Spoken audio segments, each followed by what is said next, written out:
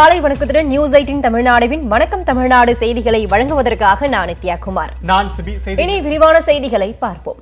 மத்திய அரசிடம் அடிபணிந்து போகவில்லை என்றும் இணைந்து செயல்படுகிறோம் என்றும் முதலமைச்சர் எடப்பாடி பழனிசாமி தெரிவித்துள்ளார். சென்னை தண்டையார்பேட்டையில் அதிமுக சார்பில் நலத்திட்ட உதவிகள் வழங்கும் விழா நடைபெற்றது. அதில் பேசிய முதலமைச்சர் எடப்பாடி பழனிசாமி எதிர்க்கட்சிகள் வேண்டும் என்றே ஆட்சியின் மீதும் அதிமுக மீதும் பழி சுமத்தி வருவதாக குற்றம் சாட்டினார். மத்திய அரசின் ஒத்துழைப்பு இல்லாமல் பெரிய திட்டங்கள் எதையும் நிறைவேற்ற முடியாது என்றும் அவர் கூறினார். காவிரி மூலம் கிடைக்கும் நீர் மட்டுமே தமிழகத்திற்கு போதாது என்று கூறிய முதலமைச்சர் எடப்பாடி பழனிசாமி கடலில் வீணாக கலக்கும் கோதாவரி நீரை தமிழகத்திற்கு திருப்பிவிட மத்திய அரசிடம் கோரிக்கை விடுக்கப்பட்டுள்ளதாகவும் தெரிவித்தார். இதற்காக மத்திய அரசு ஒரு லட்சத்து நாற்பதாயிரம் கோடி ரூபாய் நிதி ஒதுக்க திட்டமிட்டுள்ளதாகவும் அவர் கூறினார். அடிபணிந்து கிடைக்கின்றது மாநில அரசு என்று குற்றம் சுமத்துகின்றார் அது தவறு. இன்றைக்கு மத்தியிலே ஒரு அரசு மாநிலத்திலே ஒரு அரசு. இதனுடைய அமைப்பு. ஆகவே இன்றைக்கு மாநிலத்தில் இருக்கின்ற அரசு மத்தியிலே இருக்கின்ற அரசு போடுகின்ற திட்டங்களுக்கு அனுமதி கிடைக்க வழங்க வேண்டும். இன்றைக்கு பெரிய பெரிய திட்டத்தை நாம் நிறைவேற்ற வேண்டும் என்று சொன்னால் மத்திய அரசுடைய ஒத்துழைப்பு இல்லாமல் திட்டத்தை நிறைவேற்ற முடியாது. இதையடுத்து பேசிய துணை முதலமைச்சர் ஓ பன்னீர்செல்வம் ஆட்சியை கலைத்துவிட்டு ஒரு குடும்பம் மட்டுமே ஆட்சி நடத்த வேண்டும் என சதித்திட்டங்கள் நடைபெற்று வருவதாக குற்றம் சாட்டினார். அதோ சரிதான் இனி இந்த தொகுதி பக்கமே எட்டி கூட பார்க்க மாட்டார்கள். ஆனால் நாங்கள் தினந்தோறும் உங்களை சந்திக்க வருவோம். இந்த பெருமக்களுக்கு வேண்டிய உதவிகளை செய்வோம். இந்த பெருமக்களுக்கு வேண்டிய திட்டங்களை அரசின் மூலமாக செய்து கொண்டே இருப்போம். திருவண்ணாமலை மாவட்டம் ஆரணியில் அனுமதியின்றி வைக்கப்பட்டிருந்த ஜெயலலிதாவின் சிலையை காவல்துறையினர் அகற்றினர். ஜெயலலிதாவின் சிலை ஆரணியில் கடந்த இருபத்தி மூன்றாம் தேதி நள்ளிரவு திறக்கப்பட்டது. தொடர்ந்து சிலைக்கு இந்து சமய அறநிலைத்துறை அமைச்சர் சேவு ராமச்சந்திரன் உள்ளிட்ட அதிமுகவினர் மாலை அணிவித்து மரியாதை செலுத்தினர். அனுமதியின்றி வைக்கப்பட்ட சிலையை அகற்றக் கோரி ஆட்சியர் கந்தசாமி உத்தரவிட்டதன் பேரில் வருவாய்த்துறை அதிகாரிகள் நேற்றிரவு அகற்றும் பணியில் ஈடுபட்டனர். இதையொட்டி இருநூறுக்கும் மேற்பட்ட காவல்துறையினர் அங்கு குவிக்கப்பட்டனர். தகவல் அறிந்து வந்த அதிமுகவினர் காவல்துறையினுடன் வாக்குவாதத்தில் ஈடுபட்டனர். அப்போது இரு தரப்பினருக்கும் இடையே தள்ளுமுள்ளு ஏற்பட்டது. இதையடுத்து அங்கிருந்தவர்களை காவல்துறையினர் கைது செய்தனர். மேலும் அங்கிருந்த சிலையையும் நகராட்சி ஊழியர்கள் அகற்றினர்.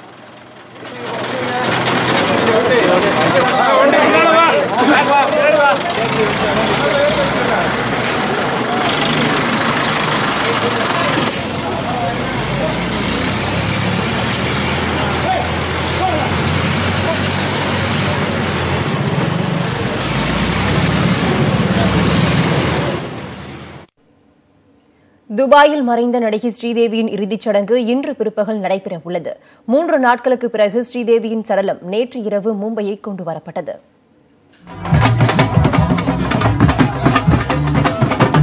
உறவினர் இல்ல திருமண விழாவில் பங்கேற்பதற்காக கணவர் மற்றும் மகளுடன் துபாய் சென்றிருந்த நடிகை ஸ்ரீதேவி கடந்த சனிக்கிழமை தங்கியிருந்த விடுதி அறையில் உயிரிழந்தார். அவரது மரணம் குறித்து துபாய் காவல்துறையினர் பல்வேறு சந்தேகங்கள் எழுப்பியதால் உடனடியாக ஸ்ரீதேவியின் உடல் பிணக்கூறு ஆய்வு செய்யப்படவில்லை. அவரது மரணம் குறித்து ஸ்ரீதேவியின் கணவர் போனி கபூரிடம் துபாய் காவல்துறை பத்து கேள்விகளை எழுப்பியது. அந்த கேள்விகளுக்கு போனி கபூர் விளக்கமளித்த பிறகு ஸ்ரீதேவியின் உடல் ஆய்வு செய்யப்பட்டு நேற்று மாலை போனி கபூரிடம் ஒப்படைக்கப்பட்டது. இதையடுத்து தனி விமானம் மூலம் ஸ்ரீதேவியின் சடலம் மும்பை கொண்டு வரப்பட்டது. மும்பை விமான நிலையத்திலிருந்து ஆம்புலன்ஸ் மூலம் அந்தேரியில் உள்ள போனி கபூரின் இல்லத்திற்கு நேற்று இரவு சுமார் பத்தரை மணியளவில் ஸ்ரீதேவியின் உடல் கொண்டு வரப்பட்டது.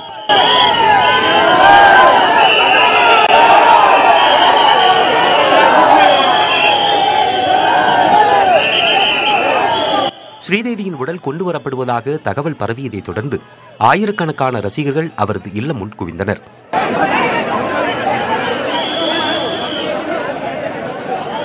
தொடர்ந்து திரைத்துறை பிரபலங்கள் ஏராளமானோர் நள்ளிரவே போனி கபூரின் இல்லத்திற்கு நேரில் சென்று அஞ்சலி செலுத்தினர்.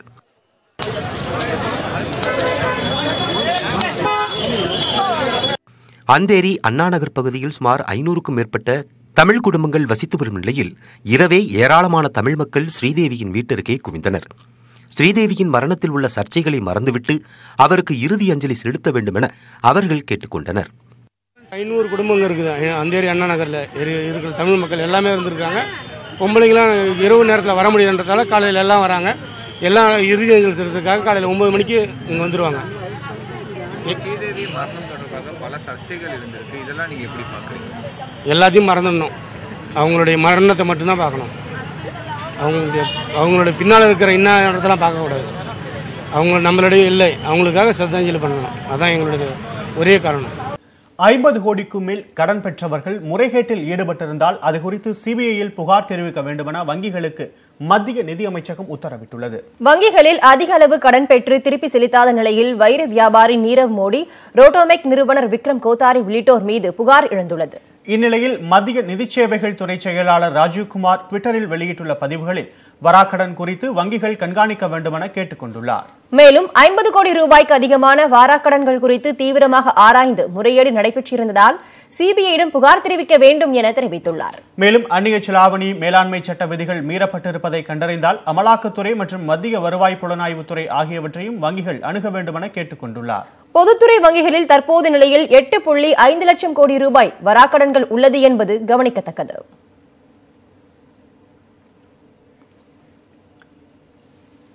பஞ்சாப் நேஷனல் வங்கியில் பதிமூவாயிரம் கோடி ரூபாய் முறைகேடு புகாருக்கு ஆளான வைர வியாபாரி நீரவ் மோடியின் முக்கிய நிறுவனமான ஃபயர் ஸ்டார் டைமண்ட் அமெரிக்காவில் திவால் நோட்டீஸ் கொடுக்கப்பட்டுள்ளது. தெற்கு நியூயார்க் மாவட்ட நீதிமன்றத்தில் தாக்கல் செய்துள்ள மனுவில் தங்களுக்கு அறுநூற்று ஐம்பது கோடி ரூபாய் சொத்து உள்ளதாக அந்த நிறுவனத்தின் சார்பில் தெரிவிக்கப்பட்டுள்ளது. தொன்னூற்றி ஒன்பது பேரிடம் கடன் பெற்றுள்ளதாக கூறியுள்ள அந்த நிறுவனம் அமெரிக்கா ஐரோப்பா மத்திய தரைக்கடல் நாடுகளில் வைர வியாபாரம் செய்து வந்தது.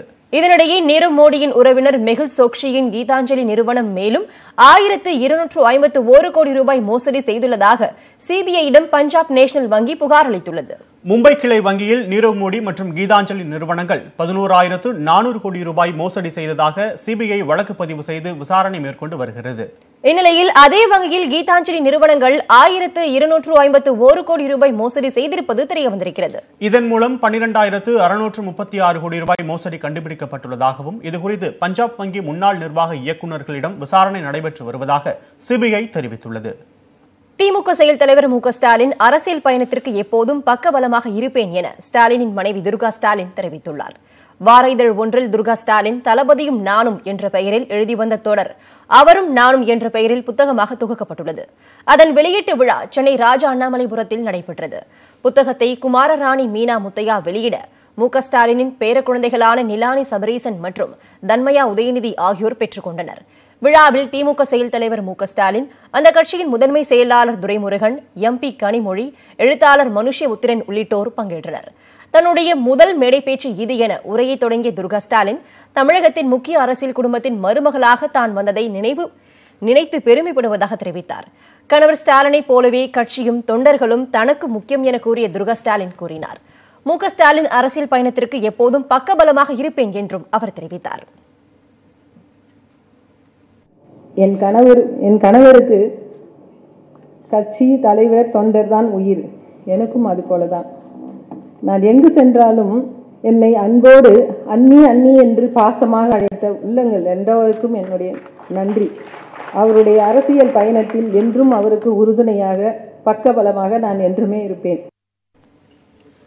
தற்கொலை செய்து இறந்த பின்பு பெண் ஒருவர் உதவி கோரும் வீடியோவை அவரது தோழி சமூக வலைதளத்தில் வெளியிட்டுள்ளார். வேலூர் மாவட்டம் திருப்பத்தூர் அருகே நாற்றாம்பள்ளியைச் சேர்ந்தவர் சத்யா.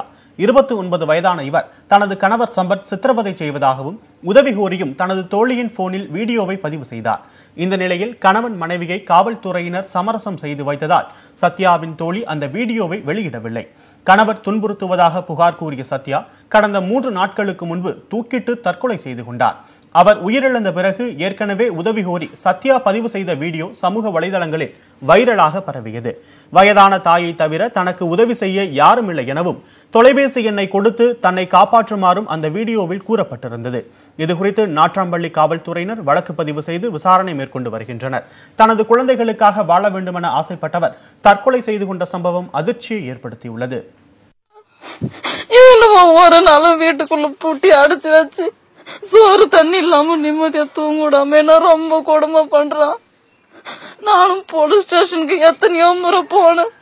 போ- போகும்போதெல்லாம் என்ன வந்து சமாதானம் பண்ணி அமுச்சு பொள்ளாச்சி ஆழியாறு அணையில் இருந்து கேரளாவிற்கு தண்ணீர் திறந்துவிடப்பட்டதை கண்டித்து பிஏபி கண்காணிப்பு பொறியாளர் அலுவலகத்தை முற்றுகையிட்டு இரவிலும் போராட்டத்தில் ஈடுபட்டனர். ஆழியார் அணையிலிருந்து கேரளாவிற்கு தண்ணீர் திறக்கப்பட்டதற்கு பிஏபி பாசன விவசாயிகள் எதிர்ப்பு தெரிவித்து வருகின்றனர். அதன் ஒரு பகுதியாக பொள்ளாச்சியில் உள்ள பொறியாளர் கண்காணிப்பு அலுவலகத்தை விவசாயிகள் முற்றுகையிட்டனர். விவசாயிகளிடம் கண்காணிப்பு பொறியாளர் கரைமாறன் நடத்திய பேச்சுவார்த்தையில் உடன்பாடு ஏற்படாததால் உள்ளிருப்பு போராட்டத்தை தொடங்கிய விவசாயிகள் இரவிலும் அதை தொடர்ந்தனர்.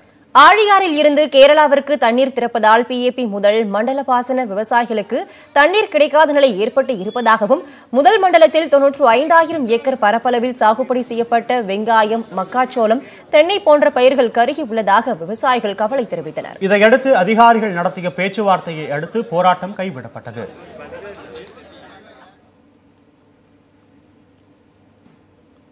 தமிழகம் மற்றும் புதுச்சேரியில் பனிரெண்டாம் வகுப்பு மாணவர்களுக்கான பொதுத் தேர்வு நாளை தொடங்க உள்ளது நாளை தொடங்கி ஏப்ரல் ஆறாம் தேதி வரை நடைபெறும் பொதுத் தேர்வை ஒன்பது லட்சத்து ஏழாயிரத்து அறுநூற்று இருபது பேர் எழுத உள்ளனர்.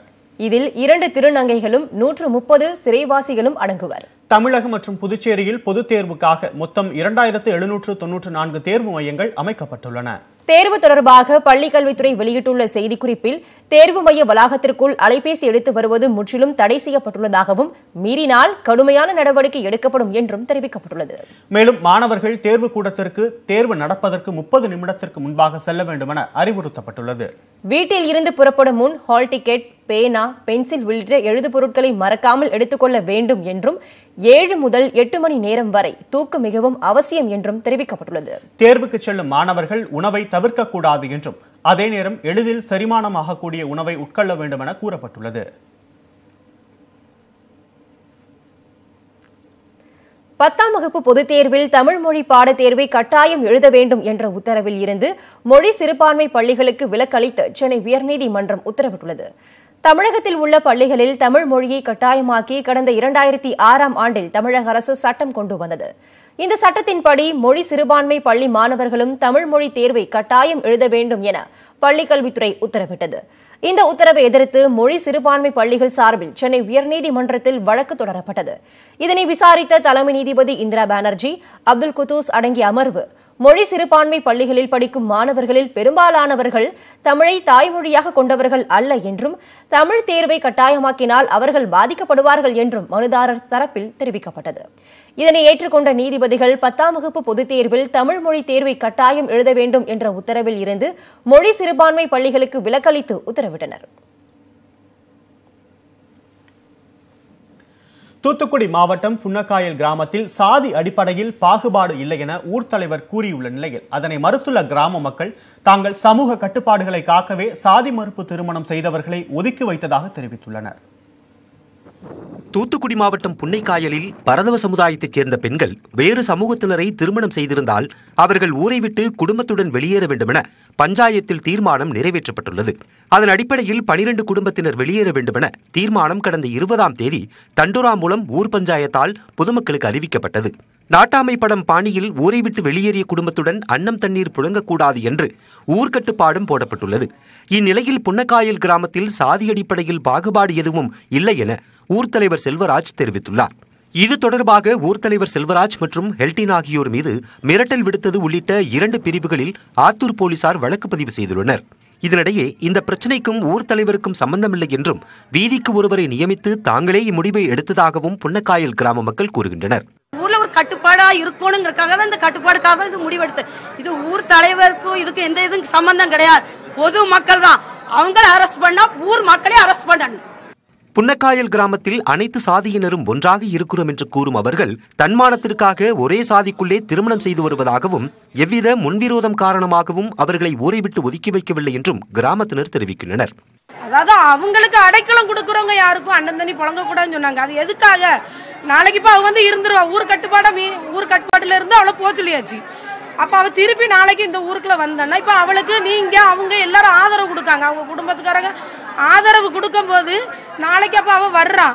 அப்ப அவ வந்து இருக்கும் போது திருப்பி மறுபடி அவள் தான் போனாலே திருப்பி வந்துட்டான் அவளுக்கு எல்லாரும் ஆதரவு கொடுத்துட்டாங்க. நான் பின்னால உள்ள பிள்ளைகளும் நானும் போறேன். எனக்கும் ஆதரவு கொடுக்க மாட்டாங்களா? ஊர் இப்படிதான் சொல்லும். நாளைக்கு திருப்பி எங்களை சேர்த்துக்கிடுவாங்க அப்படின்னு வரும் இல்லையா? அப்படி வரக்கூடாது. அப்படிங்கறதுனாலதான் இந்த ஒரு கட்டுப்பாடு. புன்னக்காயல் கிராமத்தில் இனிமேல் இதுபோன்ற சம்பவங்கள் நடைபெறாத வண்ணம் கிராம மக்களுக்கு விழிப்புணர்வு ஏற்படுத்தப்படும் என்று தூத்துக்குடி மாவட்ட ஆட்சியர் வெங்கடேஷ் தெரிவித்துள்ள நிலையில் சாதி மறுப்பு திருமணம் செய்தவர்களை ஊரை விட்டு விலக்கி வைப்பதை கிராம மக்களே ஆதரிக்கிறார்கள். துபாயில் இருந்து கடத்தி வரப்பட்ட இரண்டு கோடி ரூபாய் மதிப்புள்ள தங்கத்தை சென்னை விமான நிலைய அதிகாரிகள் பறிமுதல் செய்தனர். துபாயில் இருந்து சென்னை விமான நிலையத்திற்கு வந்த பயணிகளிடம் சுங்கத்துறை அதிகாரிகள் சோதனையில் ஈடுபட்டனர். அப்போது நாகையை சேர்ந்த முகமது மொய்தீன் மற்றும் கேரளாவை சேர்ந்த அகமது சபீர் ஆகியோர் இருவரும் தங்களது செல்போன் கவரில் தங்கத்தை ஒழித்து வைத்திருந்தது கண்டுபிடிக்கப்பட்டது. இதையடுத்து அவர்களிடம் இருந்த ஆறு கிலோ ஐநூறு கிராம் தங்கத்தை அதிகாரிகள் பறிமுதல் செய்தனர். இதன் மதிப்பு இரண்டு கோடி ரூபாய். தங்கம் கடத்தல் தொடர்பாக இரண்டு பேரையும் கைது செய்த அதிகாரிகள் கைது செய்து விசாரணை மேற்கொண்டு வருகின்றனர். தென்காசி அருகே மேற்கு தொடர்ச்சி மலைப்பகுதியில் இரண்டாவது நாளாக தீப்பற்றி எரிவதால் அரிய வகை மரங்கள் எரிந்து சேதமடைந்துள்ளன. தென்காசி சுற்றுவட்டார பகுதிகளில் கடந்த சில நாட்களாக வெயிலின் தாக்கம் அதிகரித்து காணப்பட்ட நிலையில் புளியரை வடகரை மற்றும் செங்கல்தேரி ஆகிய பகுதிகளில் மழையில் நேற்று முன்தினம் திடீரென தீ விபத்து ஏற்பட்டது. வடகரை அடவி நயினார் அணைக்கட்டு அருகே மலைப்பகுதியில் தீ சுமார் ஐந்து கிலோமீட்டர் தூரத்திற்கு பரவியது. தீயை அணைக்கும் பணியில் தீயணைப்புத் துறையினர் ஈடுபட்டு வருகின்றனர். தீ விபத்தில் அரிய வகை மரங்கள் மூலிகைகள் கருகி சாம்பலாகி உள்ளன. மேலும் தீ விபத்தால் வன உயிரினங்களுக்கும் அபாயம் ஏற்பட்டுள்ளது.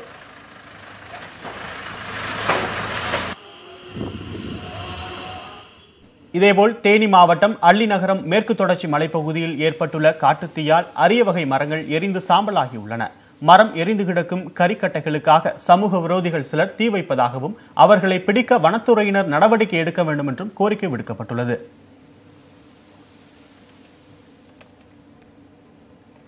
காஞ்சிபுரம் மாவட்டம் பாலேஸ்வரத்தில் இயங்கி வரும் முதியோர் இல்லத்தை இழுத்து மூடும் பணிகள் தொடங்கியுள்ளன. இந்த நிலையில் இங்கிருந்து பிற காப்பகங்களுக்கு மாற்றப்படும் முதியோர்கள் முழுமையாக பராமரிக்கப்பட்டு பாதுகாக்கப்படுவார்களா? அவர்களின் கதி என்னாகும் என்ற கேள்வி தற்போது எழுந்திருக்கிறது.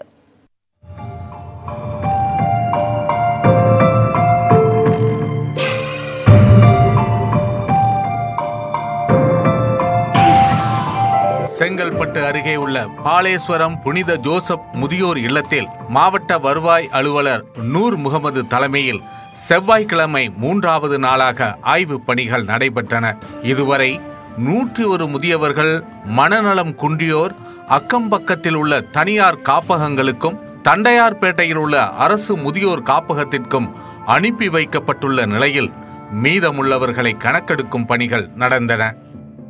இதற்கிடையே முதியோர் இல்ல தலைமை நிர்வாகி பாதிரியார் தாமஸ் கே. ஓமன் சென்னையில் செய்தியாளர்களை சந்தித்து விளக்கமளித்தார். ரெண்டு பேஷண்ட்ஸையும் ஏற்றிக்கிட்டு வரலான்னு பார்க்கும்போது அந்த க்ளீன் பண்ணி இருந்த லேடி சொன்னாங்க அண்ணே இந்த மாதிரி ஒரு ஆள் இறந்து போயிட்டாங்க நைட்டில் ஸோ உடனே இப்போ என்னடா பண்ணுறது ஒன்று காய்கறி அழுக விடணும். இல்லை இந்த பாடி ராத்திரி எப்போ இருந்தாங்கன்னு தெரியல. ரொம்ப முடியாமல் வந்தாள் ஸோ அதனால் அவங்க பாடி அழுக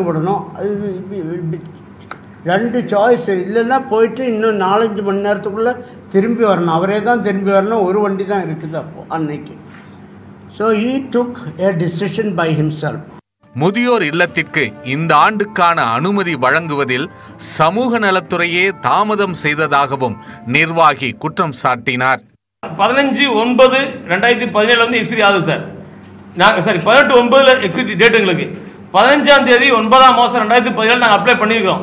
இன்னைக்கு வரைக்கும் அது அப்ளை எங்களுக்கு வந்து சரி பண்ணி கொடுக்கவே இல்லை. காரணம் கேட்டிங்கன்னா இந்த டேபிள் போயிருக்கு அந்த டேபிள் போயிருக்கு சொல்லி தாமதப்படுத்தாங்களே வழியே இது மட்டும் இந்த இன்னைக்கு வந்து அவங்க வந்து சர்ச் பண்ணி நடவடிக்கை எடுக்கிறதுக்கு ஒரே காரணம் இந்த லைன்ஸ் இல்லாங்க காரணம் தான் நீங்க சொல்ற எந்த காரணமும் இல்லை. புனித ஜோசப் இல்லம் விரைவில் மூடப்பட உள்ள நிலையில் பிற காப்பகங்களுக்கு அனுப்பப்படும் முதியவர்கள் முறையாக பராமரிக்கப்படுகிறார்களா என்பதை அரசு கண்காணிக்குமா என்பதே இப்போது எழுந்துள்ள மிகப்பெரிய கேள்வி. விழுப்புரத்தில் பாதாள சாக்கடை அடைப்பை சரி செய்ய முயன்றபோது விஷவாயு தாக்கியதில் தொழிலாளர் ஒருவர் உயிரிழந்தார். விழுப்புரம் நகராட்சிக்குட்பட்ட மகாராஜபுரம் பகுதியில் பாதாள சாக்கடையில் உள்ள அடைப்பினை சரி செய்யும் பணியில் நகராட்சி ஒப்பந்த பணியாளர்களுக்கான பாஸ்கரும் சந்திரசேகரும் ஈடுபட்டிருந்தனர். அப்போது விஷவாயு தாக்கியதில் பாஸ்கர் திடீரென மயக்கமடைந்து பாதாள சாக்கடைக்குள் விழுந்தார். அந்த கிணற்றில் உள்ள மின் மோட்டார் ஏற்கனவே பழுதாகி இருந்ததால் கிணறு முழுவதும் நிரம்பியிருந்த கழிவுநீர் மூழ்கி அவர் உயிரிழந்தார். தகவல் அறிந்து வந்த தீயணைப்பு துறையினர் மூன்று மணி நேரத்திற்கு மேலாக போராடி தொழிலாளியின் உடலை மீட்டனர். கடந்த ஆண்டு இதே இடத்தில் இரண்டு துப்புரவு தொழிலாளர்கள் விஷவாயு தாக்கி உயிரிழந்தது குறிப்பிடத்தக்கது.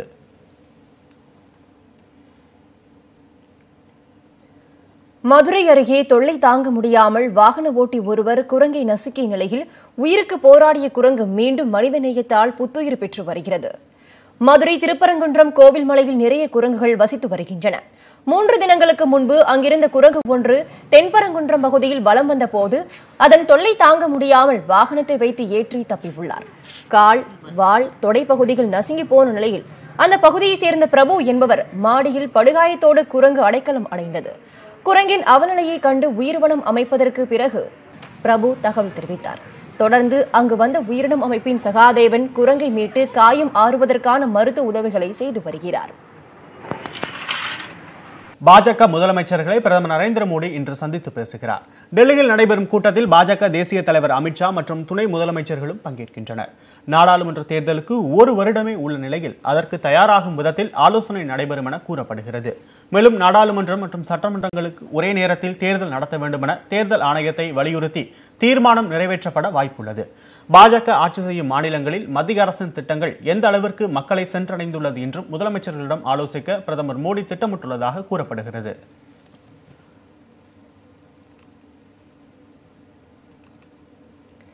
நடப்பாண்டில் நீட் தேர்வு நூற்று ஐம்பது மையங்களில் நடைபெறும் என மனிதவள மேம்பாட்டுத்துறை அமைச்சர் பிரகாஷ் ஜவடேகர் தெரிவித்துள்ளார். மருத்துவ மேற்படிப்புக்கான நீட் தேர்வு கடந்த ஆண்டு முதல் நாடு முழுவதும் கட்டாயமாக்கப்பட்டுள்ளது. கடந்த ஆண்டு நூற்று ஏழு மையங்களில் நீட் தேர்வு நடைபெற்றது.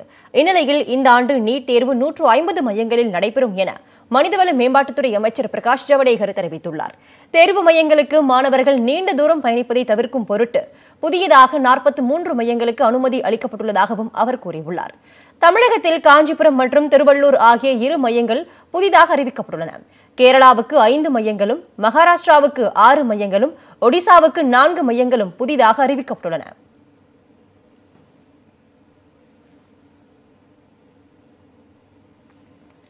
இந்தியாவிலேயே முதன் முறையாக சாக்கடைகளை சுத்தம் செய்யும் பணியில் ரோபோவை ஈடுபடுத்தும் தொழில்நுட்பம் கேரளாவில் அறிமுகம் செய்யப்பட்டுள்ளது. இதேபோல் தமிழகத்திலும் சாக்கடை கழிவுகளை மனிதர்கள் சுத்தம் செய்வதை தடுத்து ரோபோக்களை பயன்படுத்த வேண்டும் என்ற கோரிக்கை எழுந்துள்ளது.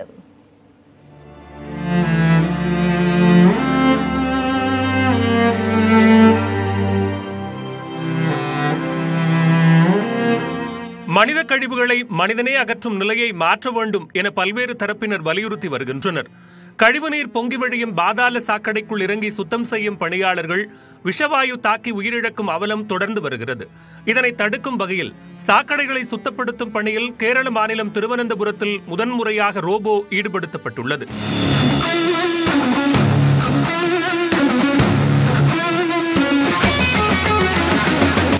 பண்டிகோட் என பெயரிடப்பட்ட இந்த ரோபோ ஒரு மணி நேரத்தில் நான்கு சாக்கடைகளை சுத்தம் செய்யும் மாநில அரசின் நிதியுதவியோடு ஜென் ரோபோட்டிக்ஸ் എന്ന நிறுவனம் இந்த ரோபோவை வடிவமைத்துள்ளது ഒരു ഏഴ് മാസം മുന്നാണ് ഈ പ്രോജക്റ്റ് സ്റ്റാർട്ട് ചെയ്തത് പ്രോജക്റ്റ് സ്റ്റാർട്ട് ചെയ്ത വഴിക്ക് നമ്മളുടെ മുന്നിൽ ഫിനാൻഷ്യലി യാതൊരു ഇതുമില്ല കാരണം ഞങ്ങളെല്ലാവരും ജോലി ഇട്ടിട്ടാണ് ഈ പ്രോജക്റ്റിൽ ഇനീഷ്യേറ്റ് ചെയ്തത് കാരണം ആ ഒരു കഷ്ടതകളും അവരുടെ ആ ഒരു പ്രശ്നങ്ങൾ കണ്ട സമയത്ത് നമുക്ക് നമ്മളെ ജോലിനേക്കാൾ ഇമ്പോർട്ടൻറ്റ് ഇത് സോൾവ് ചെയ്യാൻ പറ്റുന്നതാണ് ഞങ്ങളെ കൊണ്ട് പറ്റുന്ന ഒരു സംഭവമാണെന്ന് തോന്നി അപ്പോൾ ഇനീഷ്യലി ഞാൻ ഇറങ്ങി ജോലി ഇട്ടിട്ട് അത് കഴിഞ്ഞിട്ട് നമ്മൾ ഫ്രണ്ട്സ് ഇറങ്ങി வைஃபை ப்ளூடூத் வசதிகளுடன் கூடிய இந்த ரோபோவில் சாக்கடைகளை சுத்தப்படுத்த ஏதுவாக கை போன்ற வடிவமைப்பும் அதனை கட்டுப்படுத்தும் கருவிகளும் பொருத்தப்பட்டுள்ளன ரோபோவை கட்டுப்படுத்துவதற்கான கட்டளைகள் அந்தந்த மாநில மொழிகளில் மாற்றிக்கொள்ளும் வகையிலும் ரோபோ வடிவமைக்கப்பட்டுள்ளது.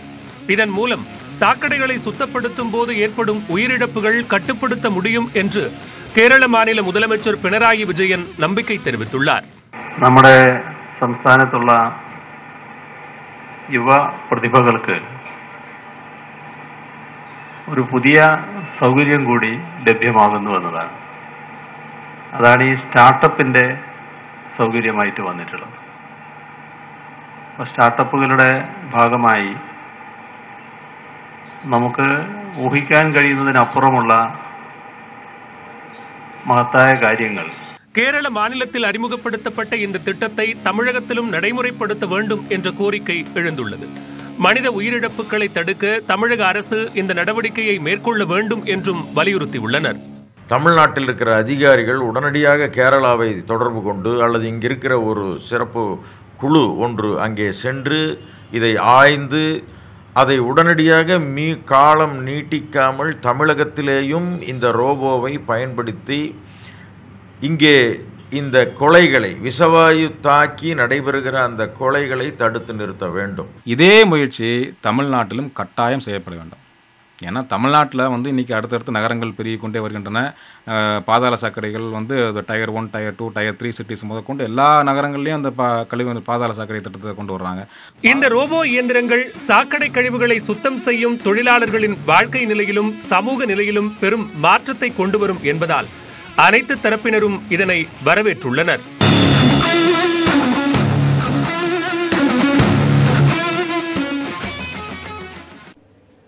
வாடிக்கையாளர்களுக்கு சிறந்த செல்போன் சேவையை வழங்கியதற்கான சர்வதேச விருதை ஜியோ நிறுவனம் வென்றுள்ளது. இரண்டாயிரத்து பதினெட்டாம் ஆண்டிற்கான சர்வதேச மொபைல் விருதுகள் அறிவிக்கப்பட்டுள்ளன. இதில் வாடிக்கையாளர்களுக்கு சிறந்த செல்போன் சேவை வழங்கியதற்கான சர்வதேச விருது ஜியோ நிறுவனத்திற்கு வழங்கப்படுகிறது. இதேபோல் சிறந்த மொபைல் வீடியோ கண்டென்ட் விருது ஜியோ டிவிக்கு அறிவிக்கப்பட்டுள்ளது. இந்த விருதுகள் சர்வதேச செல்போன் மாநாட்டில் வழங்கப்பட உள்ளன. இந்த விருது செல்போன் நிறுவனங்களுக்கான ஆஸ்கர் விருதாக கூறப்படுகிறது. குளிர்கால ஒலிம்பிக் போட்டிகளை முழுமையாக ஒளிபரப்பியதன் மூலம் ஜியோ டிவி விளையாட்டு ரசிகர்களின் பாராட்டை பெற்றுள்ளது குறிப்பிடத்தக்கது.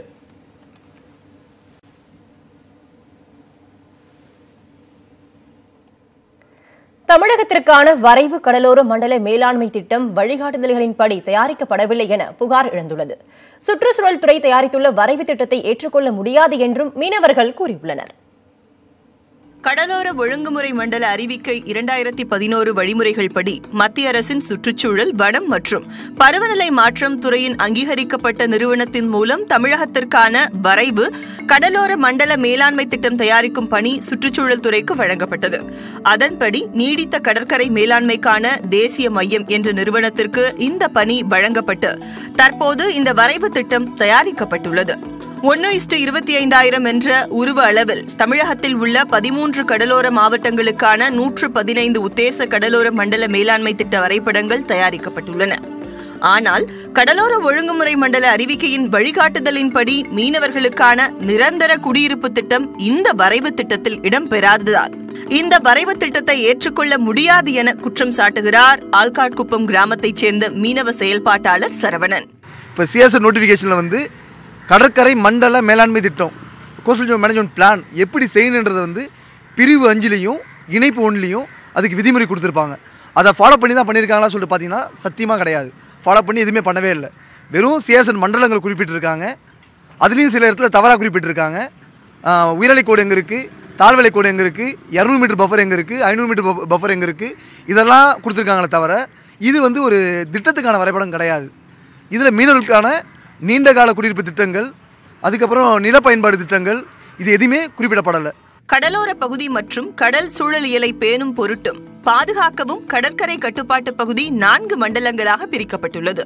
கடலோர ஒழுங்குமுறை மண்டல அறிவிக்கையின் வழிகாட்டுதல்கள் அனைத்தையும் பின்பற்றியே மண்டல மேலாண்மை திட்டத்தை தயாரிக்க வேண்டும் என தேசிய பசுமை தீர்ப்பாயம் இரண்டாயிரத்தி பதினாறாம் ஆண்டே உத்தரவிட்டிருந்த நிலையில் வழிகாட்டுதல்களை முறையாக பின்பற்றாமல் இந்த திட்டம் தயாரிக்கப்பட்டிருப்பதாக குற்றம் சாட்டுகிறார் கடல்வள மையத்தைச் சேர்ந்த Pooja. One is to four thousand scale that is டீட்டெயில்டான ஸ்கேலில் ஒரு local level coastal management plan வந்து செய்யணும்னு சொல்லியிருக்காங்க. இந்த லோக்கல் லெவல் பிளான் தான் வந்து local agencies like revenue administration as well as இந்த மாதிரி கார்பரேஷன் ஆஃப் சென்னை இந்த மாதிரி லோக்கல் அட்மினிஸ்ட்ரேஷனுக்கு வந்து கோஸ்டல் ஜோன்ஸில் வந்து uh, திட்டமிடலுக்கு வந்து ஈஸியாக இருக்கணும்னு சொல்லிட்டு ஒரு டீட்டெயில் லெவல் பிளான் வந்து செய்ய சொல்லியிருக்காங்க. அந்த லோக்கல் லெவல் பிளான்ஸ் வந்து இன்னும் செய்யலை. இரண்டாயிரத்தி பதினெட்டாம் ஆண்டு ஏப்ரல் முப்பதாம் தேதிக்குள் கடலோர மண்டல மேலாண்மை திட்டத்தை தயாரித்து முடிக்கவில்லை என்றால் அதற்கு காரணமானவர்கள் மீது ஐந்து லட்சம் ரூபாய் வரை அபராதம் விதிக்கப்படும் என இரண்டாயிரத்தி பதினாறாம் ஆண்டு தேசிய பசுமை தீர்ப்பாயம் உத்தரவிட்டிருந்த நிலையில் அவசர கதியில் இந்த திட்டம் தயாரிக்கப்பட்டதால் இதை எதிர்த்து போராட்டம் செய்வது என பல மீனவ சங்கங்கள் முடிவு செய்துள்ளன. இந்த திட்டத்தில் இருக்கிற பல குறைபாடுகளை மீனவர்களும் சுற்றுச்சூழல் ஆர்வலர்களும் சுட்டிக்காட்டிய பிறகு இந்த திட்டத்தை தயாரித்த என்சிஎஸ்சிஎம் என்ற இயக்குநர்கிட்ட விளக்கம் பெறுவதற்காக நம்ம முயற்சி பண்ணோம். ஆனால் அவர் டெல்லியில் இருப்பதால் தற்போது அவரிடம் பேச முடியாதுங்கிற பதிலையும் மேலும் இந்த திட்டம் குறித்து நாற்பத்தஞ்சு நாட்களுக்குள் தமிழக அரசிடமே பொதுமக்கள் மற்றும் சுற்றுச்சூழல் ஆர்வலர்கள் தங்கள் கருத்துக்களை தெரிவிக்கலாம் என்ற காரணத்தால் நீங்களும் தமிழக அரசிடமே உங்களோட கருத்துக்களை தெரிவித்துக் கொள்ளுங்கள் என்ற ஒரு பதிலை மட்டுமே அவங்களிடமிருந்து நம்மளால் பெற முடிந்தது. ஒளிப்பதிவாளர் மணிமாறனுடன் சதீஷ் நியூஸ் எயிட்டின் தமிழ்நாடு.